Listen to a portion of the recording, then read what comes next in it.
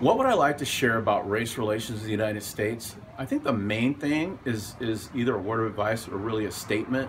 What I would like to share about race relations in the United States is this. Turn off the TV.